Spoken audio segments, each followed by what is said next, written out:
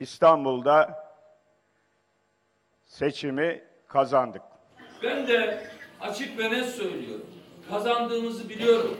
Ama benim vicdanım, benim ahlakım, benim siyasi duruşum, benim özellikle özellikle devlet adamlığından anladığım şey bana bunu açıklamama müsaade etmiyor.